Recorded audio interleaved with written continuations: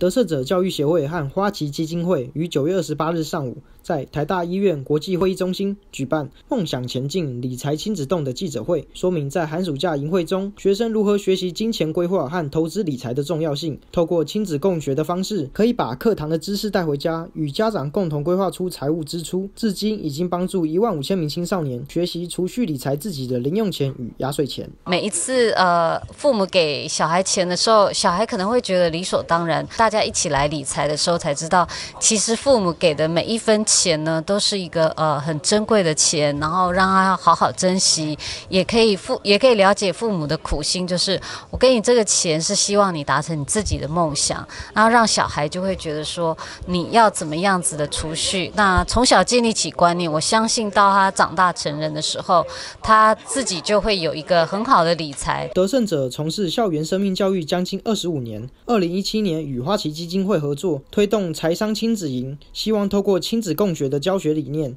可以帮助青少年与家长沟通。而在今年寒暑假营会举办七场财商亲子营，更有三百四十位国中生与一百九十七位家长参与。在满意度调查中，有九十七点八趴的家长与八十一点四趴的青少年表示，亲子理财营对提升我的亲子关系有帮助。到目前为止，如果以我们内部评估起来啊，我们基本上还是相当的满意啊。那因为我们从从不管是课程的回馈，从营队的回馈啊，志工的回馈啊，我们都很。清楚的可以看到啊，这个课程是符合这个时代的需要，也很希望未来呢，这个我们现在所发展出来这个课程，除了能够应用在啊这个我们中学的这个校园里面，我们也能够透过营队啊，帮助很多不管是孩子或者是父母亲跟孩子一起来。得胜者常务理事洪英正表示，未来还有机会筹办这样的营会，期盼更多参与在校园的课程当中，为神做更多事工。论坛报记者采访报道。